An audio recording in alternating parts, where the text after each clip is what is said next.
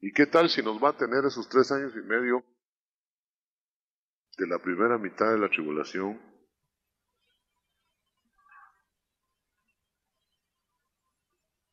Ay, Dios mío. Mire, hermano, hermanito,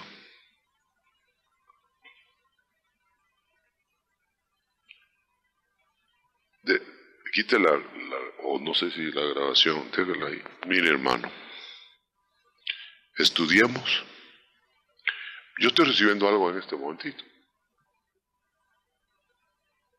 Yo no quiero hacer show ni espectáculo. Me vamos a poner aquí. ¿eh? Yo estoy recibiendo algo. No descartemos. Es primera vez que lo digo. Ahorita. No descartemos que los tres años primeros de la tribulación y medio los vamos a pasar como los pollitos debajo de la, de la gallina para luego proceder a la otra mitad que es de venganza.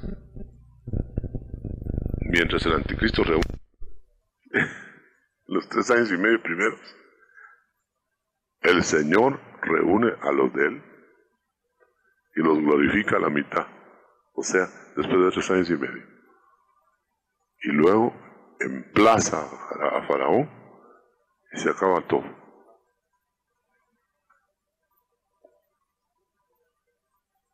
Yo lo voy a estudiar porque ahorita me viene como rayo. Y por eso es que hay quienes creen que la iglesia se va a ir a la mitad de la tribulación.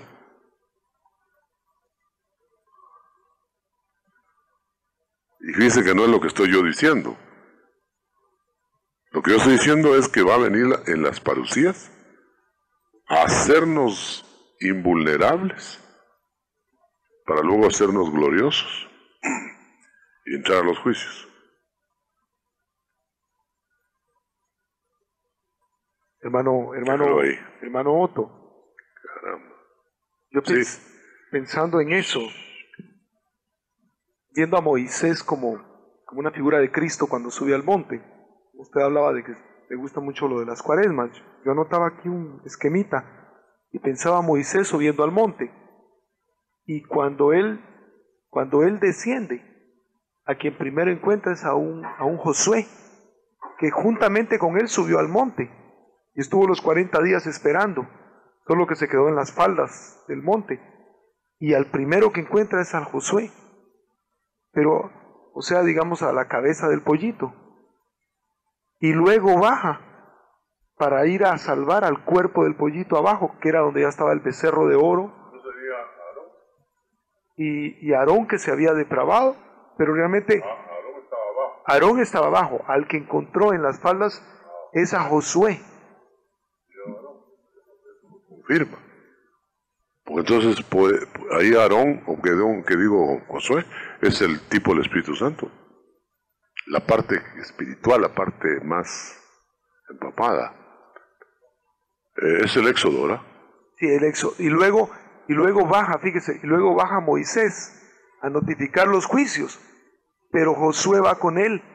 Y todo lo que hacen, Josué está, Josué está prácticamente con Moisés.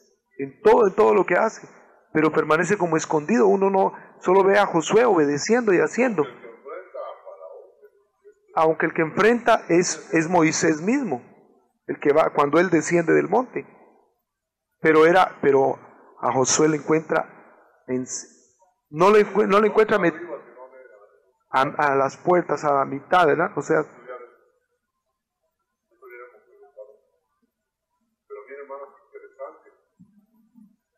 Qué interesante, porque yo siempre me he interrogado. Ahorita acaba de venir una luz, hermano. Yo, yo creo que usted lo, lo discernió. Lo interesante es que nosotros no vamos a estar ni solo, yo siempre me, me, había preguntado, decía, que no vamos a poder estar ahí, da la impresión inmortales, sino mortales todavía, pero invulnerables. Como Elías que era mortal, pero era invulnerable cuando estaba en la tarea.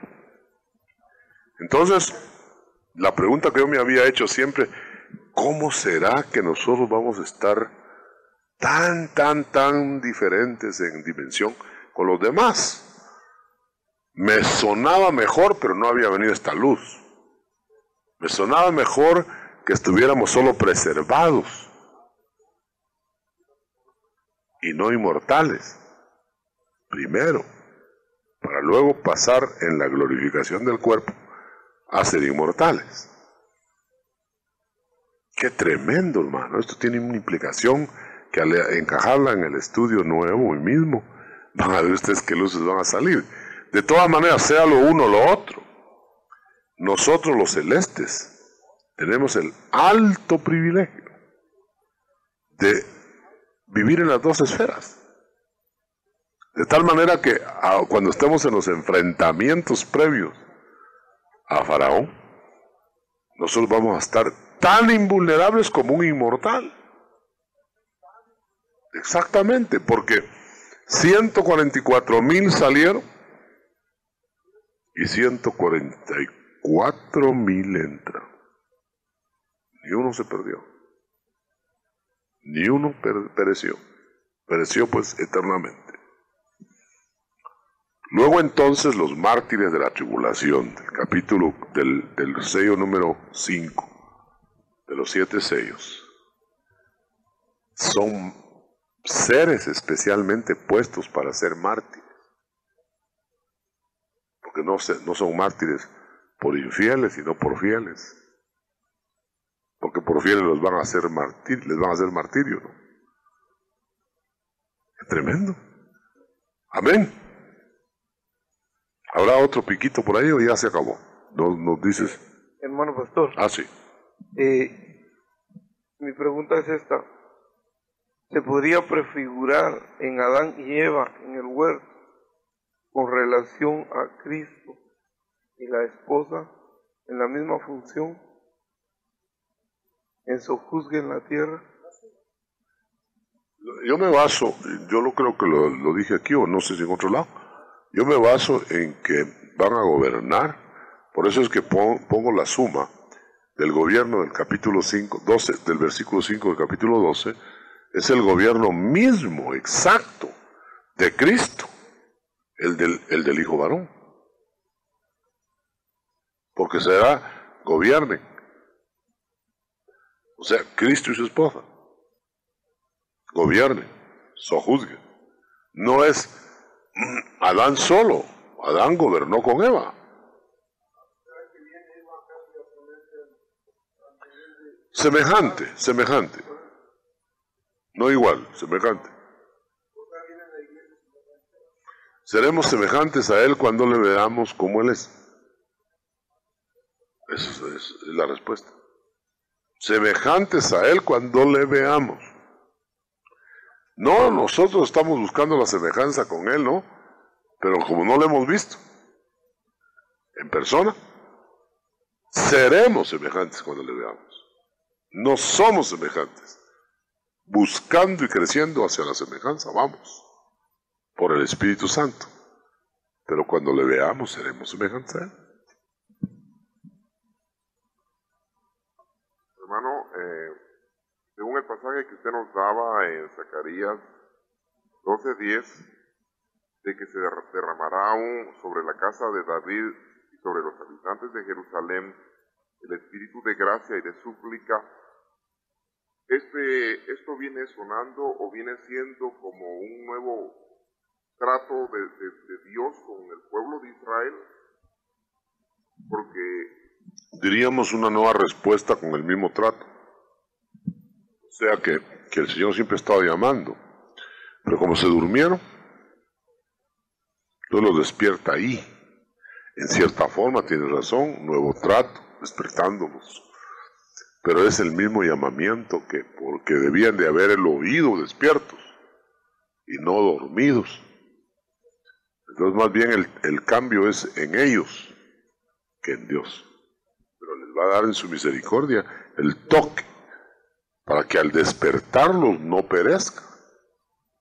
pero no que estén ahí haciendo de él, sino que tengan los ojos para reconocerlo y rendirse como lo debieron de haber hecho en la entrada a Jerusalén. Señor apóstol, tengo una pregunta para a todos los que son huíos, a los que se les va a aparecer el Señor en la Epifanía, que han sido inmaduros, ellos van a llegar a ser igualmente celestes como la siguiente. La lo celeste es una meta de una soberana vocación que se va a alcanzar por rendimiento a tiempo. Ellos van a ser de rendimiento a destiempo. Entonces perdieron ese rango. No lo alcanzaron. No, ya no van a ser de la, de la, de la esfera celeste. Hermano Otto, una última pregunta de mi parte en este tema. Eh, ¿Por qué siempre que hay juicios hay una especie de paréntesis? Me refiero, digamos, como, en un alto. Como un alto, como que hubiera un paréntesis, digamos, va a venir el diluvio. Desde los siete Y entonces lo meten siete, eh, siete, días antes de que comience el diluvio. Va a mandar Dios eh, juicio a Sodoma y Gomorra. Y antes de eso todavía hay un lapso para que eh, salgan huyendo Lot y su familia. Siempre que hay juicio es como que si hubiera un paréntesis. No podría haber, no podría ser que nosotros fuésemos arrebatados, solo un pensamiento, que fuésemos arrebatados para luego venir en esa dimensión, en ese paréntesis, y allí predicar el Evangelio y que después ya comenzaran para que, para que ocurrieran los juicios y la... Pero es... Sí. Pues eso es lo que está saliendo ahorita de todo, este, de todo este rollo, ¿no? Pensando en lo que acabamos de decir. Pues habría que darle vueltas a ese molino, hermano, porque hay que, hay que moler fino Ahí sí pero, pero les queda la, ojalá que no les haya quedado otra impresión, pero la impresión que queda es una nueva luz, no una modificación, una nueva luz, como es hacer un compás de espera. Antes de los siete truenos hay un silencio también. Entonces, quiere decir que hay, hay, hay un, eh, un X tiempo, me decía una persona, que los sacerdotes se Empezaron a los 25 y funcionaron a los 30. Cinco años. Por eso estaba yo preguntando cuántos serían, cuántos serían los 40 días, los 40 meses. Porque, porque podría ser que ese espacio de los sacerdotes para fungir realmente, que venía con unción, sea el espacio que quede entre la, la aparición del Señor y el inicio de la última semana. Había un siervo en Guatemala, no sé si todavía lo sostiene eso, que decía que iban a ser cinco años. Cinco años de primero parucía y después cinco años de espera y luego la tribulación, o sea, la semana. Pero eso es así algo de él, pues yo, yo solo estoy diciendo esto que acaba de surgir, que me, me está huyendo la cabeza de ir a estudiar eso. Con la luz del Señor, va a pedir que el Señor me ilumine, porque yo creo que este es otro hito, hermano. Esto va a ser otro, otro cuento desparramado para beneficio de nosotros. Bueno, ¿cuántos creen, hermano? Yo los veo muy serios o muy cansados. Eh, ¿Cuántos creen realmente que el Espíritu nos guiará toda la verdad? Y que está guiándonos a toda la verdad, en alguna parte, espero que aquí. Pero que no todos van a captar porque no todos están al nivel. Pero que está, está. Y que va a revelar, va a revelar. Y que van a haber avances, van a haber avances. Así que espere abierto, no se arredre, no se conturbe por cambios. Porque por eso se estancan las gentes. Porque hay riesgo y no hay que meterse aquí. Yo estoy contento con mi salvación, me dijo no sé quién. Ahora, no se arredre ni se arriesgue a quedarse estancado. Porque si usted no es capaz de aprender mañana lo que hoy no sabe, y que el Espíritu se lo va a dar, no va a avanzar. Sencillamente no va a avanzar. Otros van a avanzar y usted no. ¿No acaso dijo, me revelaré, me apareceré, te diré, se tira diciendo? Entonces nosotros yo no veo por qué ahora hacemos mutis para el Espíritu Santo. Y le tenemos miedo. Y los que tienen contacto con el Espíritu Santo avanzan tremendamente como íntimos. Aunque hay muchos que se les va la mano y quieren manejar al Espíritu Santo. Pero eso ya son riesgos del, del caminante, ya no del Espíritu, perdón, que lo envuelve. Amén, hermano. Eh, solo queremos hacer un par de anuncios, hermanos. Eh, al terminar la reunión acá va a haber otra de, del personal del hotel. Cielo es necesario que retenga a Cristo. Vamos a hablar de la restauración. Es necesario que el cielo retenga a Cristo, a Cristo, el restaurador, ¿verdad? Hasta que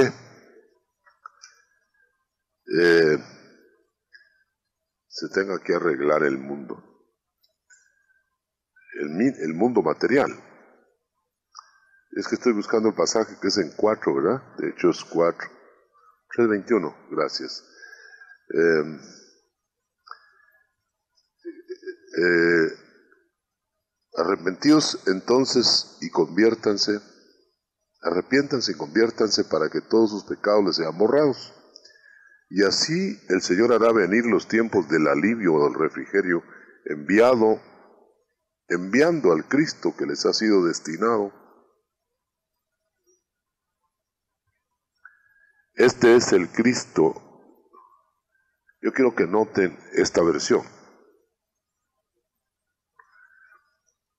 Eh, Cristo Jesús permanecerá en el cielo hasta que llegue el momento o los tiempos de la restauración del mundo material.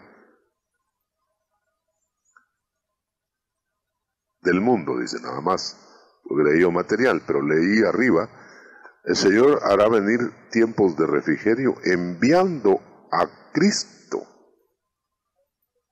que que ha sido, que les ha sido destinado. Y luego después dice, el cielo lo va a retener hasta que llegue el momento de la restauración de todas las cosas. Muy bien. ¿Se acuerdan ustedes cuando el Señor les eh, certificó a los discípulos que el tiempo del reino no vendría todavía, sino sería predicado el Evangelio con poder por el Espíritu antes. Ya no vamos a insistir en ese tema, pero entonces, si vamos a hablar de la restauración, es necesario que entendamos que la restauración de todas las cosas tiene dos tiempos, la restauración espiritual y la restauración material. Entonces, las, ambas, ambas cosas fueron dichas por los profetas. Pero yo quiero que note esto. La restauración espiritual va a ser primero. Y después la material. De la misma manera que el templo de Esdras y Nehemías, primero se hizo el altar y después se hizo el templo.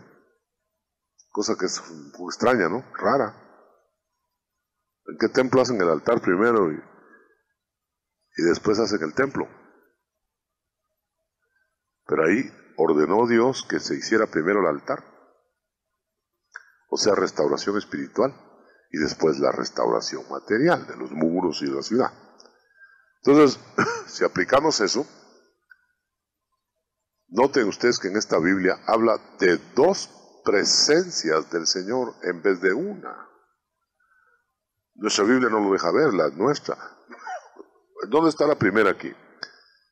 El Arrepiéntanse, borrarán, se borrarán sus pecados y el Señor enviará a Jesucristo que les ha sido asignado para el borramiento de pecados.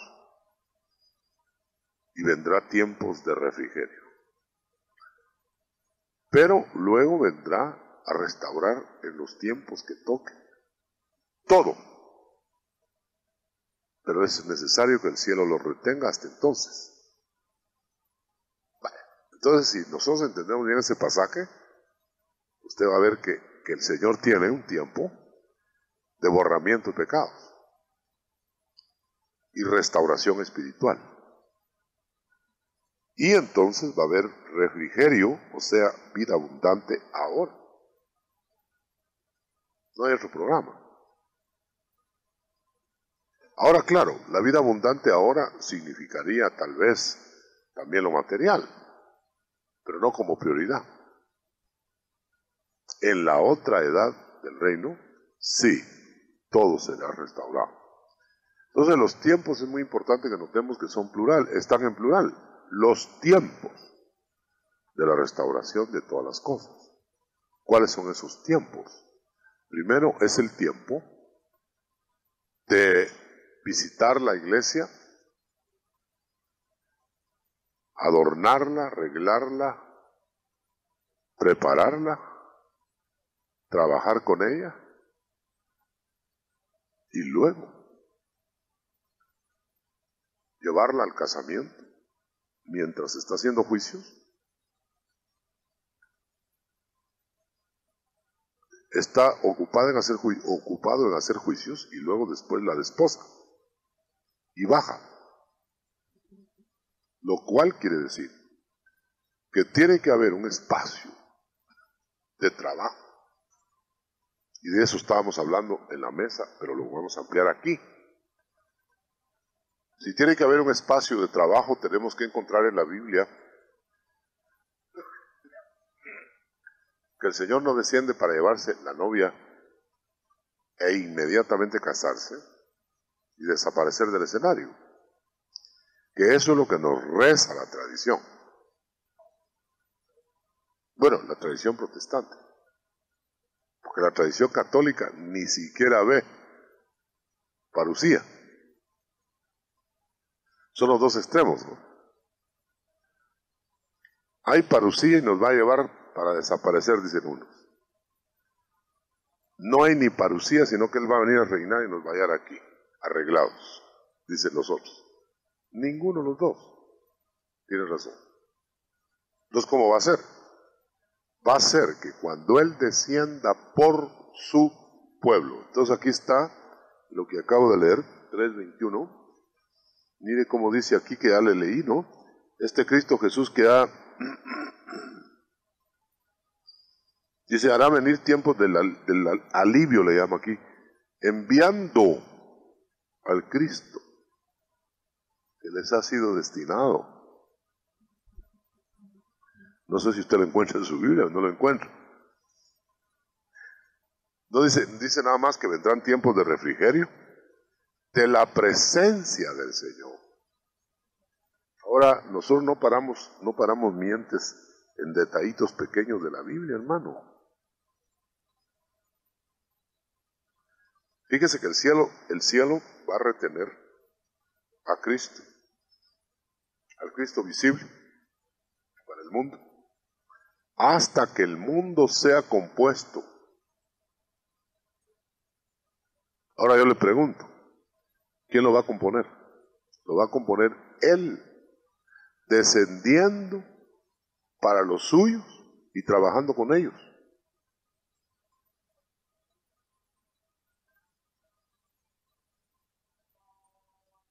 ¿Qué es lo que llamamos parucía? Va a descender, va a levantar los muertos invisiblemente al mundo los va a hacer presentes por un tiempo. Mientras estoy estrenando revelación esta noche, porque en la tarde hubo algo. Mientras los vivos, con la ayuda de los muertos o los muertos con la ayuda de los vivos, vamos a ser exaltados de tal manera que vamos a trabajar en carne y sangre mientras nos dan la herencia anticipada del reino para juzgar al mundo. Entonces va a haber un tiempo de restauración de nosotros y por consiguiente de la iglesia, novia, y va a haber un tiempo luego enseguida de restauración del mundo restaurable y eliminación del mundo condenable. Hagámoslo sencillo, los, hagamos sencillo lo difícil.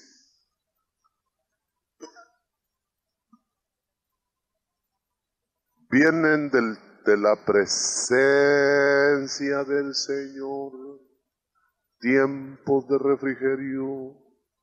Esa es restauración. ¿De quiénes? De los suyos. ¿Cómo? De la presencia. Y acuérdense que, que cuando se habla de parucía se habla de presencia. No se habla de venida.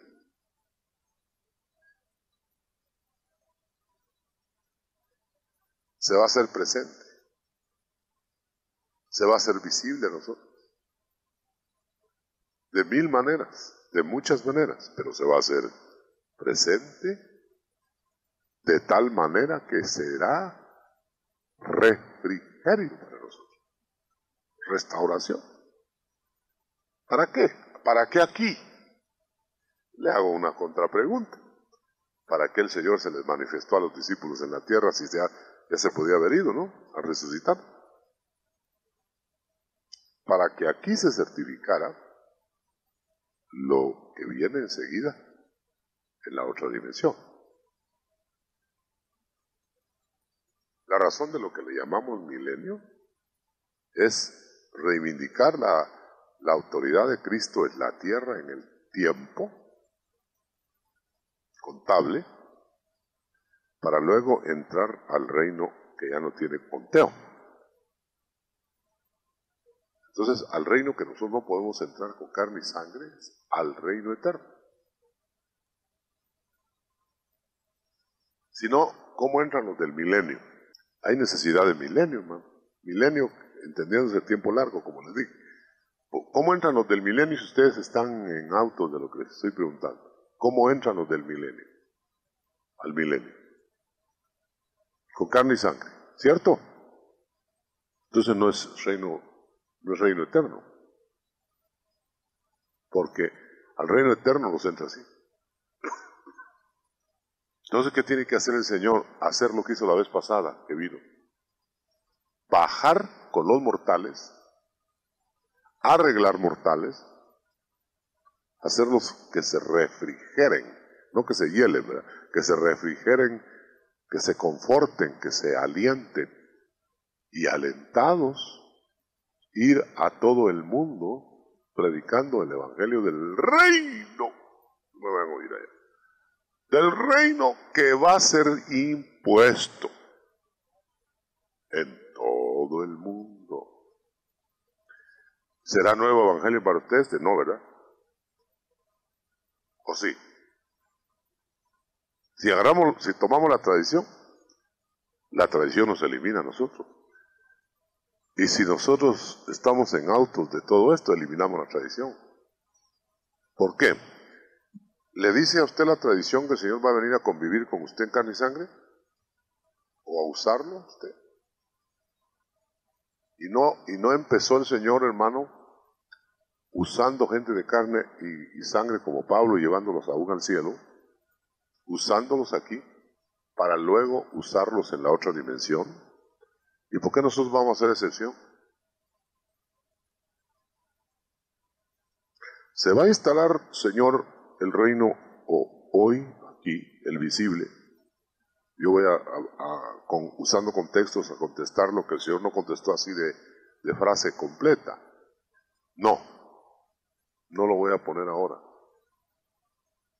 Pero voy a poner el reino espiritual en el poder del Espíritu. Hechos 2, 7 y 8, ¿no?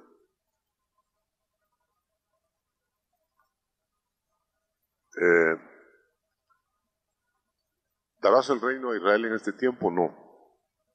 les voy a dar poder para que prediquen a todo el mundo. ¿Por qué contestó así el Señor? ¿Por qué no dijo, sí, lo voy a poner aquí, como cree mucha gente, que lo va a poner aquí ya? Progresivamente, pero lo va a poner. Creen que el monte, aquel que, la piedra que hizo monte, es un monte que ya está la pedrada dada y se está creciendo el monte y hasta que todo el mundo se haga cristiano y entonces se arregla todo. Mentira, eso no es así. Porque cuando el Señor venga, va a hallar un mundo en desgracia, no en, no en apogeo, no en delicias en el tiempo de oro, ¿no? No, lo va a hallar en crisis. Y el mundo cada día, si ayer estaba mal, hoy está peor. A pesar de los brillantes estadistas. Muy bien, entonces, mi hermano, si, si usted me acompaña entonces a, esta, a este planteamiento, que lo podemos platicar esta noche. Platicar en el tiempo que nos, nos quedara, ¿no? ¿Cree usted que el Señor va a venir a darnos refrigerio primero y después restaura en el mundo el reino? Quiere defender la tesis de que se va a arreglar todo aquí ahora y después viene Él. Si es que esta última es la verdad, que va a venir cuando todo está arreglado aquí por la iglesia, entonces hagamos una super iglesia y compongamos el mundo, que es el movimiento ecuménico.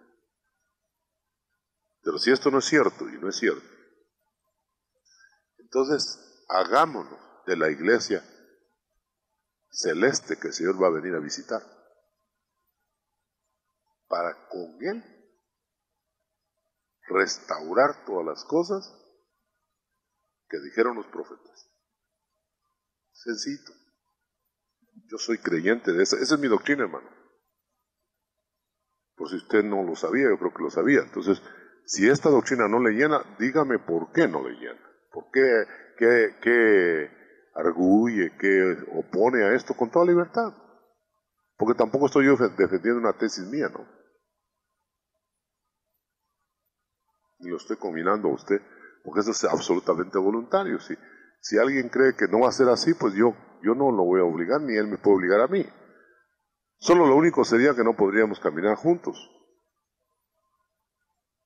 por diferencias doctrinales, pero no le voy a decir que está condenado el otro y que es... No, no, no, no. Sencillamente yo busco la verdad con usted.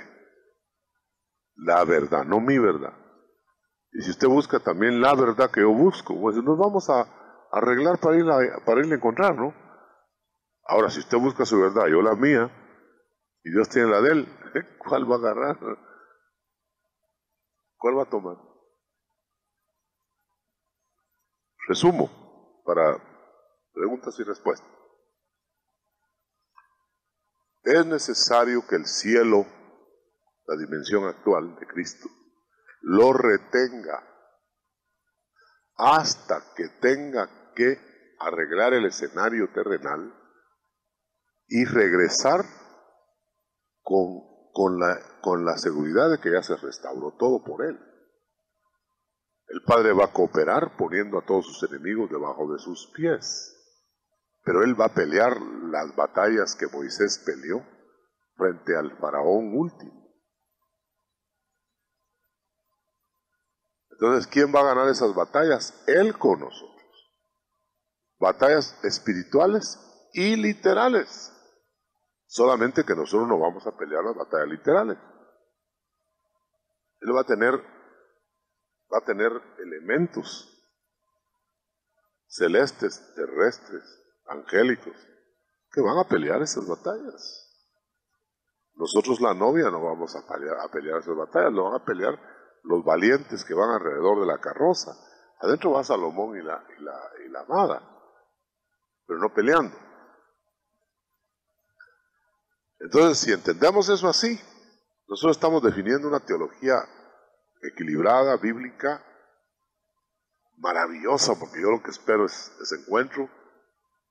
Y yo no estoy esperando entrar a la tribulación, ahora ya estoy más, más eh, claro. Yo no estoy esperando entrar a la tribulación para salvarme. Yo estoy esperando que sea que me exalten para el reino temporal y luego me glorifiquen eternamente para el reino de Dios Padre, de todas maneras yo voy a estar en la eh, en los sucesos que vienen final, finales, pero voy a estar del lado del Señor completamente cubierto. Como dijo Pablo, yo sé que Él guardará mi depósito hasta aquel día. Y cuando dijo más adelante, sea muerto vivo, yo soy de Él. Entonces, qué pena. ¿Qué, ¿Cuál es el problema?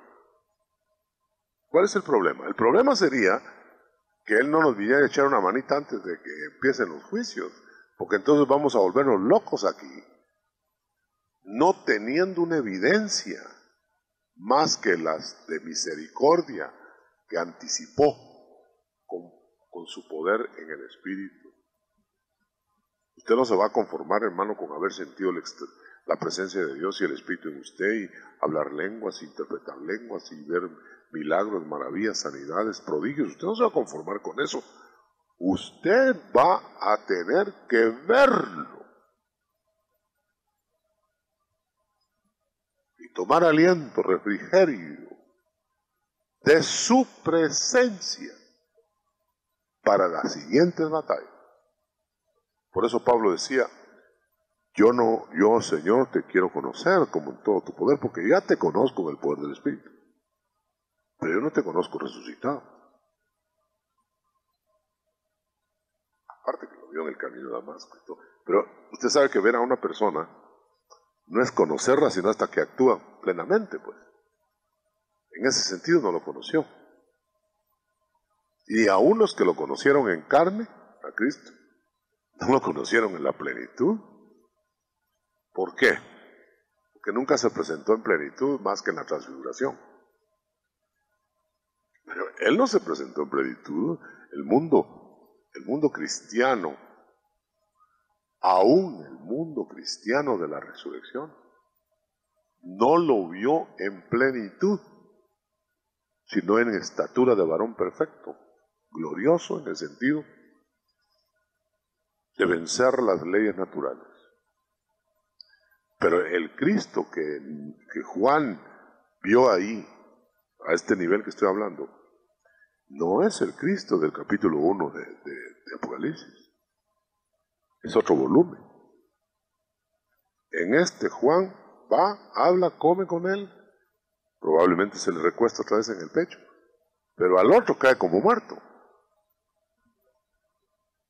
Entonces hay dimensiones. Fíjese usted, hermano, que qué sería si usted dudando, no, no, no, esa dimensión de Tomás, pero dudando de ciertas cosas. El Señor le va a decir, mira, tócame. Oye, hermano. Yo cuando vi al Señor, yo no sé si qué me hubiera pasado si lo toco. No se me olvidaría el recuerdo, ¿verdad? La mano. No lo toqué. No pude tocarlo. Pero ¿qué se hubiera sido si lo toco, no?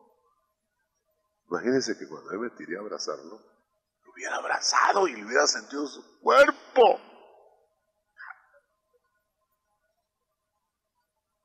El Señor sabe lo que hace, ¿verdad? Por, eso no se debe haber mostrado tan, tan así.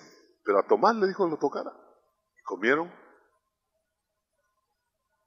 y oyeron clases insondables que solo escribieron un poquito de los 40 días. En 40 días usted se imagina que enseñaría el Señor. Eso viene, hermano. Viene, viene. Precedido de ángeles, precedido de seres de otros, de otras estirpes, precedido de hijos. Pero viene. Y se va a manifestar de tal manera nosotros que allí se va a restaurar la iglesia. de los siete poderes.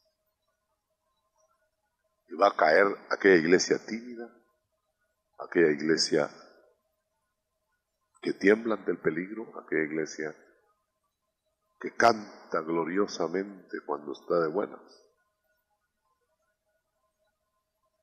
y enmudece cuando está de mala.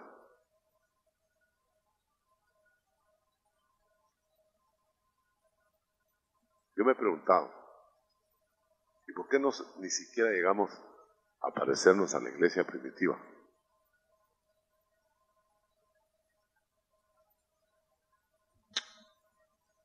No nos parecemos por muchísimas razones. Y esta era una iglesia infantil. Ahora, ¿cómo irá a ser cuando no? Cuando cojamos el parecido de la iglesia plena de Cristo. Y que predique, hermano. Todavía dentro del tiempo, que ahora estoy atisbando, X tiempo, de predicación antes que la plenitud entre empiece la tribulación, porque la tribulación va a empezar, y eso quiero dejarme claro, esto sí, se me había olvidado ese detalle, capítulo me parece que es 3 de Daniel. Para que haya tribulación, se necesita que haya estatua inaugurada.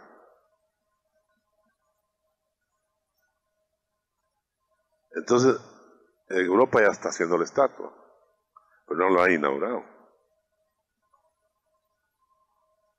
Cuando la inaugure, van a mandar a traer a los adoradores. Entonces ya no, ya no, ya no está la novia ahí porque la novia no va a adorar. Van a estar los hebreos espirituales que les va a tocar pagar en el horno la entrega a Jesús.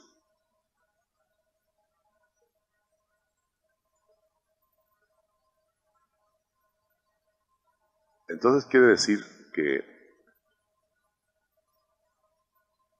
estos reyes, hermano, esta, esta, eh, esta estatua no puede ser adorada mientras no esté. Acuérdense que hicieron una estatua, ¿cuánto tardaría, verdad? La adornaron totalmente la rodearon de adoración y música. Y al tocar la música, tenían que adorar. Entonces, eso no ha empezado. ¿Por qué no ha empezado? Porque la estatua no, la estatua no la han inaugurado. Pero fíjese, hermano, que ya se le ven los pies sin inauguración.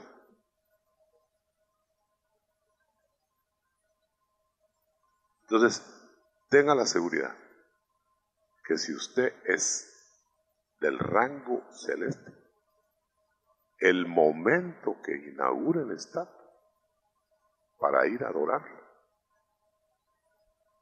es a la altura del quinto sello de los siete.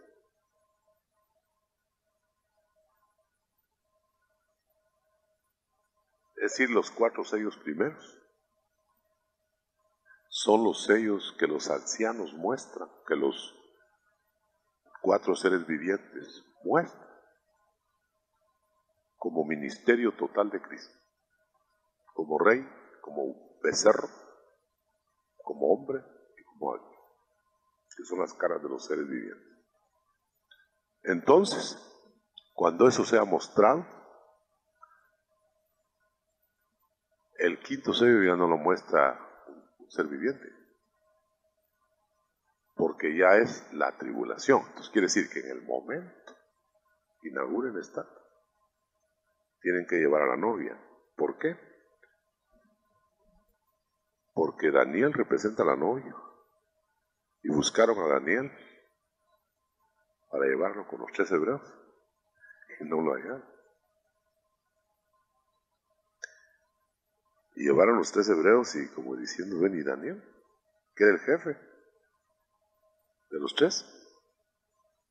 Y si usted hace un buceo sobre Daniel, usted va a ver que cuando no lo hallaron era porque estaba en el palacio. No lo buscaron en el palacio, lo buscaron afuera. El diablo nos va a buscar afuera, pero como no puede ir al palacio. Después de haber pasado por fosos de león, pero no por el horno, porque en el momento que inaugure la estatua, entrega el Señor a todos los que no acataron el Evangelio en obediencia a, a Cristo. Los entrega con todo y corbata, totalmente, le sujeta todo, de tal manera que entonces ese periodo no es para. Sí, aquí queda aclarado mucho de lo que no se había aclarado, yo creo, espero que sí. Pues va a hacer preguntas sobre ese rumbo, ¿verdad? Fíjese que estamos hablando escatológicamente así suavecito, pero con, con precisión matemático-bíblica.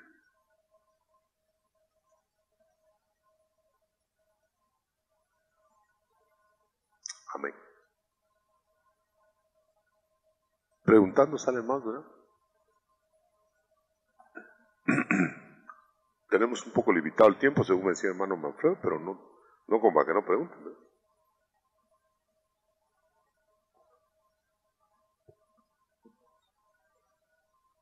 Espero haberme explicado, hermano. Si me quedé corto en algo, pidan ampliación. Hermano, yo en las noticias estaba viendo acerca de, de una organización que hay en Europa que se llama la Comunidad Europea, la EC. Y yo oía a estos reporteros decir que varios países le están pidiendo el apoyo a esta organización que está compuesta por 13 naciones. Y, y resulta de que esta organización um, parece que está siendo precedida bastante por España.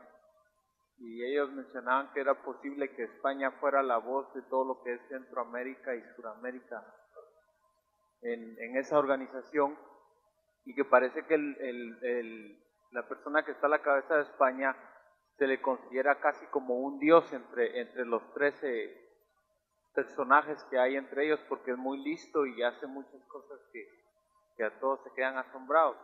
Entonces lo que a mí más me asombraba era que ellos decían que el primero de enero de 1993 esta, esta organización viene a tomar el control de todo lo que es esas naciones y que van a, sacar un, un sistema computarizado el cual nadie va a poder, parece que, hacer negocios si no tiene ese sistema entre ellos mismos.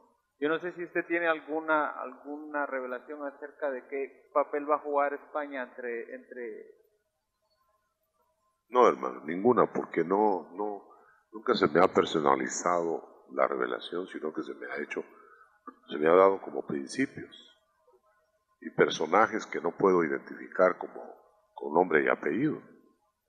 Sin embargo, es plausible todo eso que estás tú diciendo porque porque los bloques que se van a formar son bloques comerciales, comerciales, políticos y, y religiosos.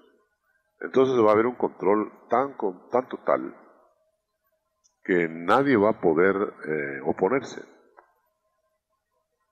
Es lo que estoy diciendo del horno, que los tres varones, por, por, por oponerse, cayeron en el horno pero no, eh, no quedó nadie fuera. La totalidad eran, son tres. La totalidad pues de los, de los terrenos, de horno, pero la totalidad son cuatro. Entonces hubo una sustitución del cuarto varón por Daniel. El Señor va a entrar por nosotros, o con nosotros, o en nosotros. De tal manera que no puedo contestarte que sí he recibido algo sobre España, pero España ha sido un país tradicionalmente enemigo de la fe pura. Y ha, sido el único país en, de habla española que expulsó judíos.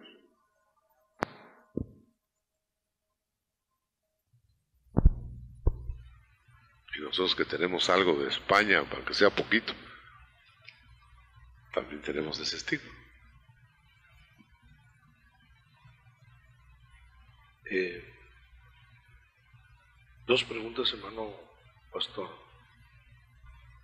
el, fin del, movimiento eh, que proclama hoy el reino. Quisiera que nos ampliara un poquito eh, esto, es decir, ellos están viendo, digamos, un, fracaso económico casi en todo el mundo, ¿no? Hay una quiebra económica casi en todo el mundo. Pero a pesar de esto, hay gente luchando por buscar tronos y que creen que se van a, establecer esos tronos y que va a haber, va a haber, van a tener éxito. Sin embargo, eh, usted mencionaba hoy que hay conexión ahí con, con ecumenismo, o sea que el ecumenismo está metiendo sus manos ahí. Yo quisiera que nos explicara un poquito eh, más acerca de el fin que persigue esa gente, porque me imagino yo que, hay cristianos tal vez verdaderos arrastrados ahí y, entonces, sí, sinceros. los que van a sacar de Babilonia diciendo salgan de ahí, pero al final. Lo que puedo decir es, en pocas palabras, que no, no, ¿cómo explicarlo? El final de ese movimiento será cuando el anticristo aplaste al falso profeta, a la mitad de la septuagésima semana. Pero, pero la, la, el propósito es reunir a toda su gente el diablo para atacar al ungido. Por eso va a haber un reino impuesto milenial. Pero el propósito de ellos es ese, pero el propósito de Dios es juntar a los suyos en la epicinagoga. Entonces va a juntar los suyos y el otro junta los de él. Y viene el, el choque del final del milenio. O sea que esa es una horrible trampa, digamos, establecer gobiernos, digamos, aparentemente cristianos. Sí, es una trampa. Es la trampa de la trampa de Constantino. Ganar el cristianismo el mundo por medio de gobiernos. Pero eso sería cristianos por decreto. ¿Y dónde, hay cristianos por decreto? Amén. Eh, cuando, cuando se nos habla de la enseñanza más profunda del reino, es decir, por ejemplo, de los 40 días, se dice que Jesús habló del reino, pero no, no tenemos eh, eh, nada casi nada, digamos, escrito en sí del, del, reino. Esto se debe a que, a que realmente el reino es para los que, para que se manifieste. Ahora, pues, entre los que realmente son íntimos o tienen intimidad con el Señor, es, esa es la razón por la que se privó. Sí, el Señor siempre deja las cosas eh, a que las descubramos y no, y no las descubre. Eh, por ejemplo, no me recuerdo Tal vez ustedes me refrescan la memoria en el último pasaje de Hechos. ¿Cuánto tiempo tardó Pablo predicando el reino? ¿Seguro? Léelo mejor porque le creo más a la lectura que a tu memoria, mijo. Pero tú también no.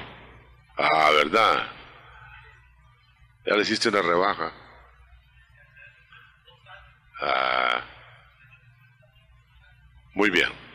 Entonces el Evangelio del Reino va a ser predicado probablemente, probablemente, de, una cuarentena de dos años. Probablemente. O que signifique los dos mil. Pero que se va a complementar con un tiempo X, mejor, mejor digámoslo así, de, de presentación previamente a la tribulación del horno. Entonces quiere decir, ¿no dice más de dos años?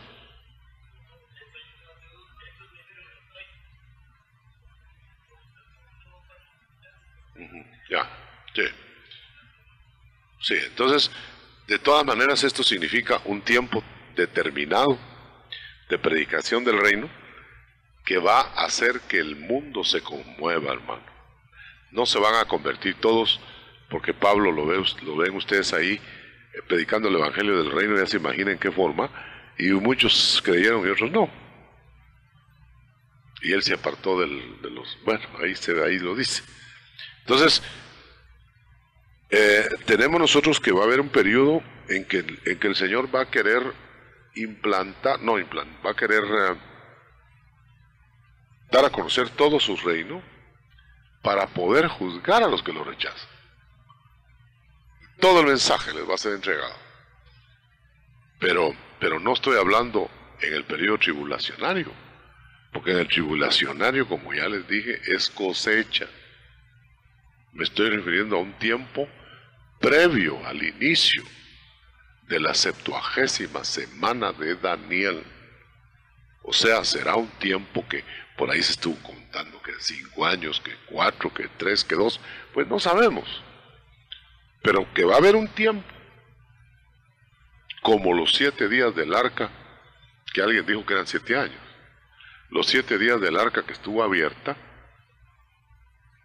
pero que no entró ninguno y que no, no se predicó tampoco, solo se, se, se abrió la puerta. Mejor dicho, no se cerró la puerta. Pero a los siete días, ¡pau! Acabó. Entró la totalidad. Tiene que, qué figura, ¿verdad? Entró la totalidad de lo salvable. ¿Y quién más entró? Ninguno.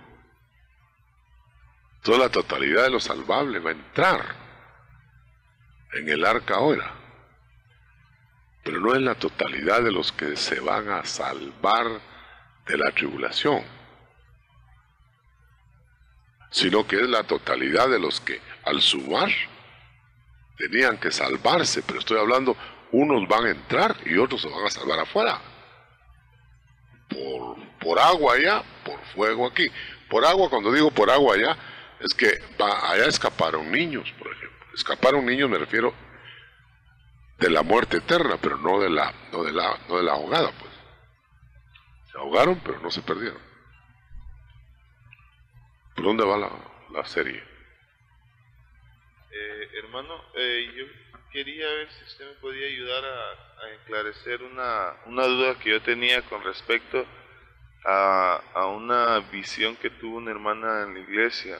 Eh, fue compartida solo entre algunos hermanos ella decía que el Señor le había mostrado como que iba a haber gente que iba a ser preparada para, como decir así, como para dar fuerza a los que se iban a quedar en tribulación.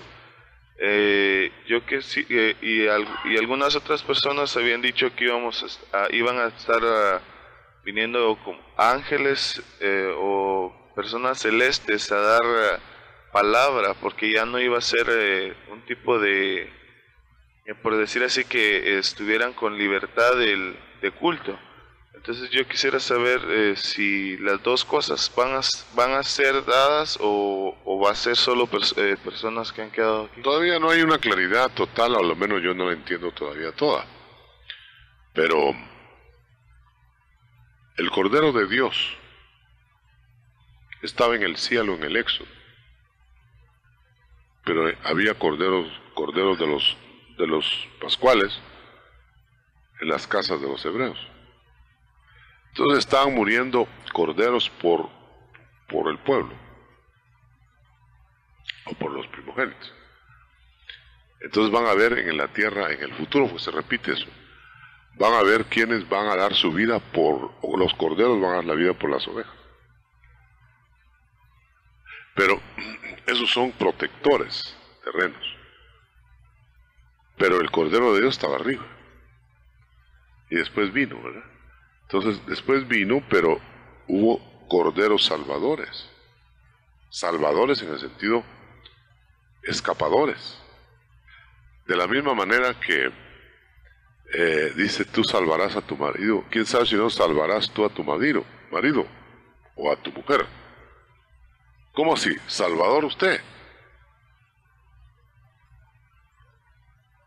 ¿Cómo así? ¿Salvador ella? ¿Salvador a ella? Bueno, en cierto modo, protegiendo, con cobertura, con enseñanza, engendrando hijos, etc. Pero la, realidad es que no, no estamos, no somos corredentores con Cristo. Va a haber el Cordero de Dios y los corderos protectores, que son ovejas protegidas por corderos. Eso sucedió en el Éxodo. Por eso el Señor le encomendó a Pedro, apacienta mis ovejas y mis corderos. Hermano, eh, acerca de la enseñanza que estaba dando de la restauración de la iglesia, usted mencionó algo acerca de la restauración de los siete poderes. ¿Podría ampliar un poquito eso? Cuando vengamos con plenos poderes en el Señor, igual que Él, los siete espíritus de Dios sobre nosotros, ya no vamos a estar prestando poderes del siglo, del siglo, sino que los vamos a tener y los vamos a manifestar. Los vamos a hacer, en sí vamos a hacer milagros. Hermano pastor, eh, yo tengo aquí un versículo. En el Evangelio de Mateo dice, cuando os persigan en una ciudad, huid a otra. En verdad os digo que no acabaréis las ciudades de Israel antes que venga el Hijo del Hombre. Yo quisiera saber si eso tiene relación con la predicación final. Tiene que ser con la predicación final porque no, no terminaron de, de literalmente de enseñar a, a las ciudades de Israel. Y si terminaron, no vino el Señor. Entonces tiene que ser futuro. Va a ser una oleada de gente en el futuro que va a estar como testigo del Señor, pero en una dimensión extremadamente gloriosa, o más bien extremadamente exaltada, que van a recorrer el mundo y no habrán terminado de recorrer Israel sin que el Señor venga, pero no en la parucía, venga a reinar. Y eso va a suceder en el futuro, en el futuro porque no pudo haber sucedido en el pasado. Se tiene que cumplir. Un pasaje muy interesante. Hermano Otto. Eh, aquí en Hechos, el, versículo que mencionábamos de Hechos 28:30, en donde dice que Pablo estuvo dos años predicando el reino de Dios. Eh, este, es el evangelio del reino de Dios. Ese evangelio del reino de Dios que Pablo predicaba en este periodo, ¿tenía alguna característica que lo distinguía del resto de la predicación? Sí. No, yo diría que en la revelación progresiva que iba a haber, él tenía que estar predicando el Evangelio del Reino, en el sentido de que iba a permanecerse en ese tenor hasta que el Señor regresara a la parucía. Porque ese es el Evangelio que tenemos ahora. Ahora, el Evangelio que, del Reino que, que, que, que viene. Que, sí, que viene, que se predique cuando estemos exaltados. Eh, diría yo no, porque Pablo ahí está, no está exaltado. Ajá. Pablo estaba en carne y sangre. Entonces va a haber gente predicando ese evangelio hasta el fin. Pero en modalidades distintas. O sea, va a tener características distintivas. Seguro, seguro. Seguro porque cuando esté el, el, la, la tribulación, se va a estar notificando el evangelio, no sembrándolo para cosecha. Entonces tiene que haber una, alguna modalidad diferente. Y no, no podría mencionar algunas de esas modalidades, doctor. Por ejemplo, en los días de Juan se predicaba un evangelio de arrepentirse. Luego vino Cristo y dijo también, dijo que eh, se tenían que convertir. Ya era un evangelio de conversión. Después dijo, pues viene el tiempo en que va a haber un evangelio de plenitud de espíritu, otro modelo, otra modalidad.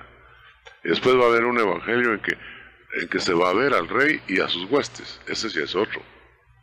Y cuando habla del evangelio eterno, ya habla de la eternidad del Padre con otras dimensiones que no conocemos. Por ahí va la cosa.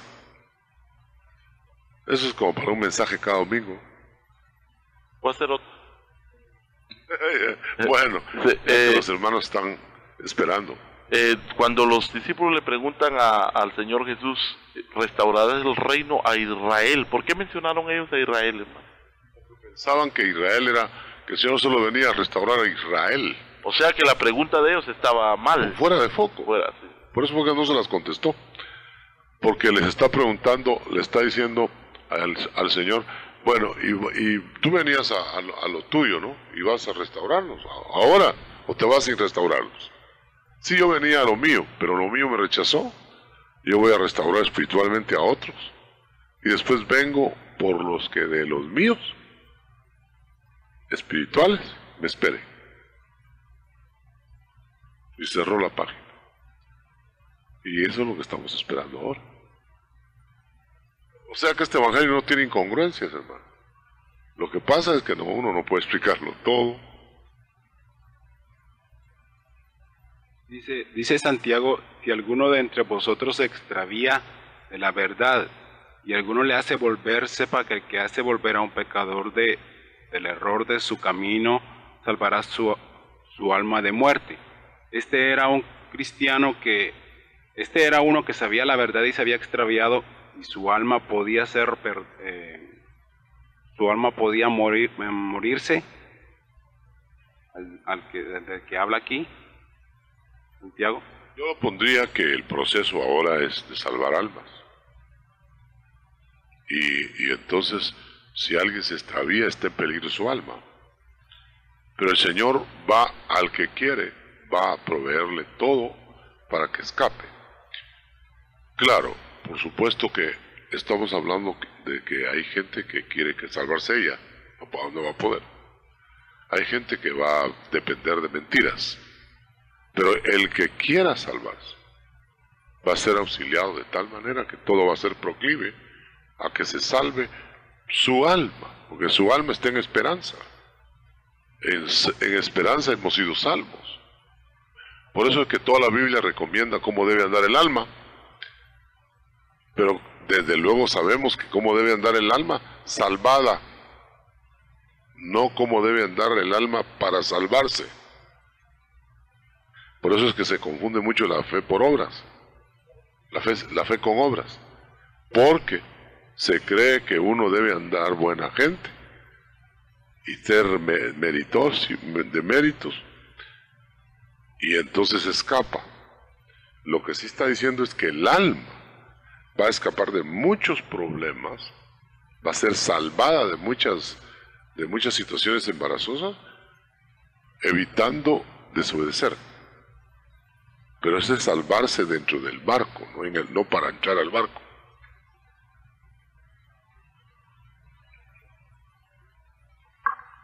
Hermano pastor, eh, con relación a la, a la luz que llegaba hoy en la tarde, que nos ha dejado inquietos. Yo he estado bastante inquieto.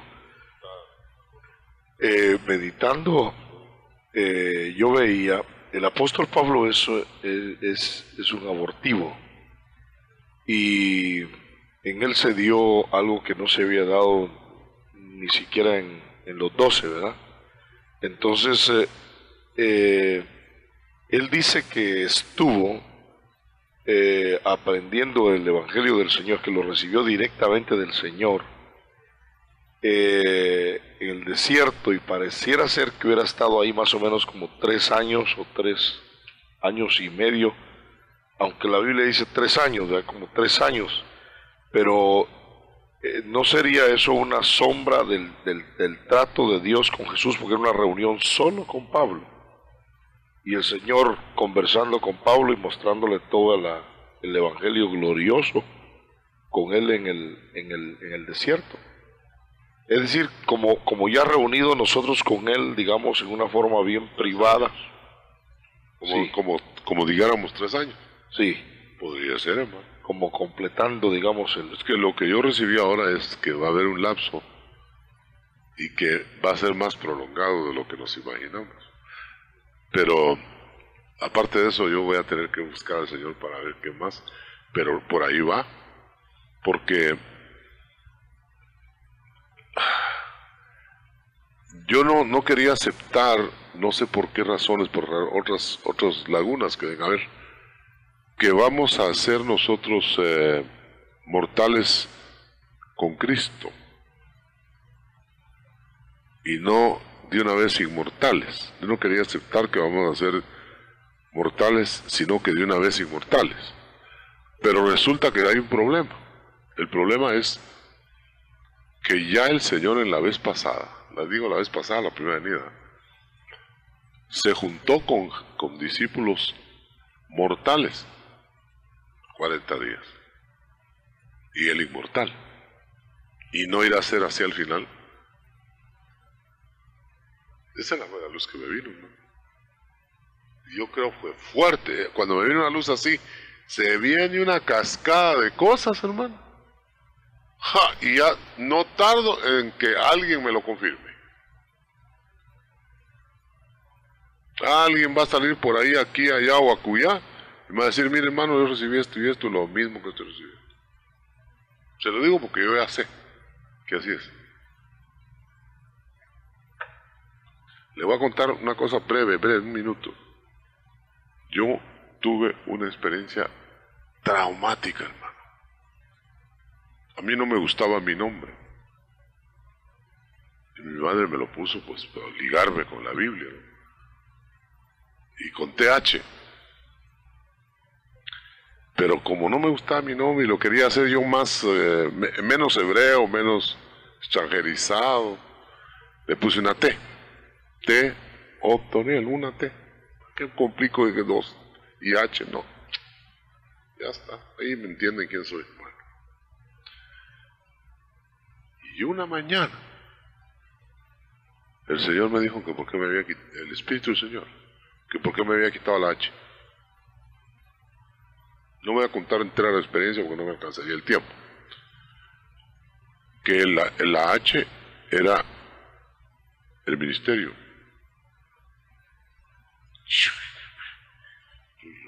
¿qué pasa, Señor?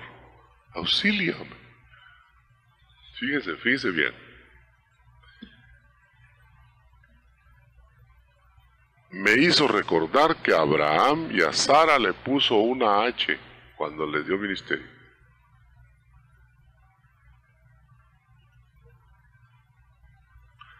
¿Cierto o no? Va. ¿Cómo me, ¿Cómo me quedaría yo esa mañana? Y a las ocho menos minutos tocaron el timbre. Y llegó un hermano que en ese tiempo estaba en mucha armonía conmigo a platicar del Señor. Teníamos que ir a un desayuno, algo así. Pero al mismo tiempo que entró, llegaba el cartero y metió un paquete de revistas en el buzón. Las iba a meter, pero como le estaba el hermano en la puerta, él las recibió. Y entró con las revistas en la mano. Entonces, tanto que le di una revista a él, dije, aquí vienen cinco, cuatro, no sé cuánto. Le di una a él y me quedé yo con la mía y otras dos. Hermano, cuando yo abrí la revista, decía la revista, no se tardó, pero ni dos horas o tres de, confirmar. ¿Sabe qué decía la revista? en primera plana, en primera hoja. Tanto que él es hermano como testigo se dio cuenta. Claro, él no sabía que había recibido en la mañana. Para mí fue la conmoción mayor, pero le dije, pero mire cómo decía, decía, la F, no, la H de Abraham y la H de Sara eran el soplo del espíritu ministerial.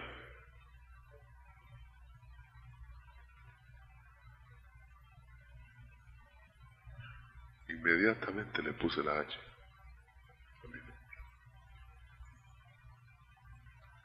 Y hasta la ponía grandota así para que la viera bien el Señor. Y le pregunté a mi esposa, que como era Sara en este caso, que cuál era el nombre que le gustaba a ella. Me dijo que le había puesto a su hermana Ruth. Ella le puso el nombre a su hermana, pequeña. Pero, ¿y cómo lo escribes? Le dije, con una T, Ruth. ¿Y la H? Pues no, no, no, entonces la... Era la H de Sara que estaba al final. Y la, la H mía estaba como en medio, en el principio un poquito para acá, en medio del nombre como Abraham, ¿verdad? Igualita, la misma altura. Y la, la de ella estaba al final. Sara, con H, al final. Eso es como para caerse muerto uno. Yo le decía, Señor, pero si así me confirmas cada vez, pues que venga todo el chorro. Pero el problema es que no siempre es así. Ahora últimamente, no le exagero con decirle que siempre es así.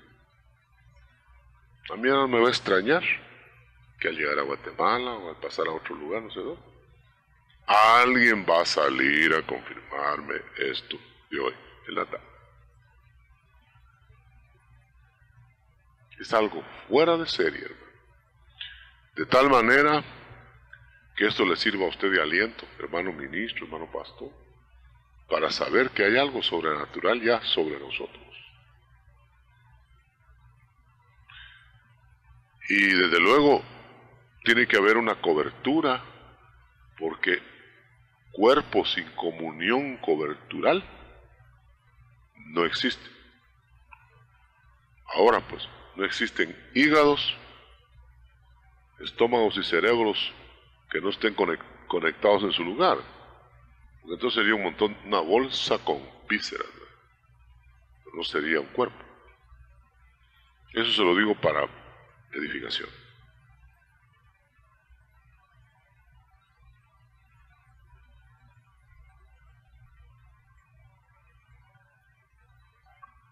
Hermano Otto, este, mi pregunta es acerca del, Espíritu Santo y de la parucía del Señor Jesús. Cuando Él venga y se nos presenta a nosotros, ¿qué es lo que nos va a enseñar y qué me ponía a pensar yo, por ejemplo, en el caso de Mardoqueo, que le enseña a Esther. En este caso, el Espíritu Santo. Eso lo estoy enseñando hoy. Ajá, el Espíritu Santo eh, como que se aparta en ese momento para que el Señor en la parucía nos explique cosas que el Espíritu no nos puede explicar en ese momento. Acuérdate que dice que el Espíritu Santo hoy va, hoy arriba y baja a decir. Pero como ahí bajó el que, el que estaba platicando con el Padre, entonces ahí se van a poner en comunión, nos van a comunicar. Más, más cerca es donde dice que todo lo vamos a saber. Eso es como el, plan. Para, prepararnos a nosotros para irnos con Él. No tanto para irnos, claro que nos va a preparar para irnos, porque hay arrebatamiento, pero nos va a preparar para ser testigos. Es que miren, hermano, nosotros no hemos entendido lo que es ser testigo. Usted y yo somos voceros, servidores, predicadores, hijos. Pero habremos sido testigos. En la medida que la fe nos ha dado experiencias, somos testigos de las experiencias.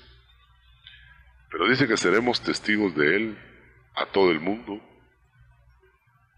y se va a evidenciar de tal manera el testimonio que nosotros vamos a decir lo que hemos visto y oído. Y empezando por haber visto al Señor y oír sus enseñanzas. Ahora, ¿qué nos va a enseñar? Nos va a enseñar toda la metodología para que se tome Canaán. Acuérdate que la, la parucía es el príncipe de los ejércitos de Jehová en las puertas de Jericó, que le está dando las instrucciones a Josué para tomar Jericó. Entonces no es para solo para subir, es para tomar Jericó. Y se tomó Jericó en base de las instrucciones del príncipe de los ejércitos de Jehová. Entonces nos van a instruir para tomar el mundo. Pero es una cosa absolutamente absurda creer que nosotros vamos a tomar el mundo ahora, hermano. ¿Con qué? ¿A pedradas o cómo? ¿Cómo? como sería absurdo pensar que Josué hubiera tomado Jericó sin las instrucciones de arriba.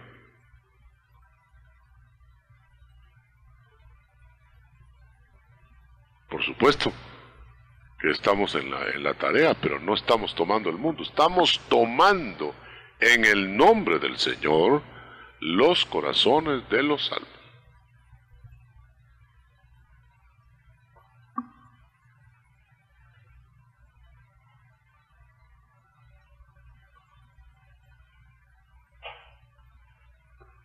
creo que vamos a llegar hasta aquí, hermanos.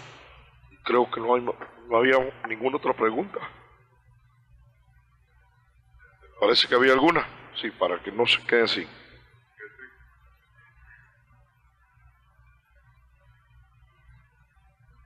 Mi hermano apóstol, solo una inquietud que tenía que no me quedó muy clara, quisiera preguntársela hoy. Eh, cuando usted mencionó en Miami acerca de la versión esta que escribió don Jerónimo, eh, San Jerónimo, cuando Jerónimo o San Agustín, no me recuerdo quién mencionó usted, de aquel versículo que dice que aunque todos moriremos, pero no todos seremos transformados, eso, aunque todos moriremos, se refiere a una muerte posiblemente física. Muerte física. O puede ser una, una especie de muerte de género diferente pero que todos vamos a morir, todos vamos a morir, porque noten ustedes que si no fuera cierto eso que le estoy diciendo, ¿cómo, cómo se puede catalogar como eh, muerte física los que estemos vivos y seamos transformados? No se puede catalogar como muerte física, sino transformación. Entonces la transformación no es muerte física, con sepulcro, pero es una forma diferente de morir para trasladarse de edad a edad. Entonces van a haber otras maneras de trasladarse, pero, pero como están Enoch y Elías, pero que de alguna manera todos tienen que morir, todos tienen que morir. Esté establecido los hombres que mueran. En cualquier género de muerte que sea. Y lo otro, hermano, cuando usted hablaba sobre los tres años y medio que tenemos de verdad esa inquietud, este, yo me estaba recordando de acerca de Eliseo. Antes de subir a Betel, él es, eh, eh, sufre una serie de burlas por aquellos 42 muchachos entonces eh, pareciera que cuando él sube eh, tiene una victoria tremenda sobre esos 42, digámoslo así, si pudiéramos ya verlo en Apocalipsis los 42 meses. Entonces como que él es victorioso en, en esos tres años y medio, ¿no? Antes de subir a Betel, la casa de la luz. Que... Quizá eso lleve más o menos la clave del tiempo de, exaltar, de exaltados a transformados. Quizá. Pero sí llama la atención que son tres años y medio.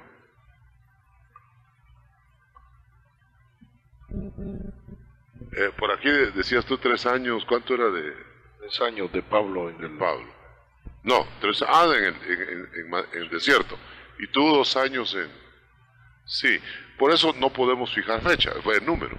Pero como que está sonando por ahí, ¿verdad? ¿Ustedes saben que hay deducción, hermano? ¿No se asustan de eso? Que está uno deduciendo y deduciendo y que eso es falible, por supuesto. Pero también Lucas estuvo haciendo deducciones. No, no, no todo fue revelación. Investigó, anotó, interrogó, esas eran deducciones. Para confirmar la palabra.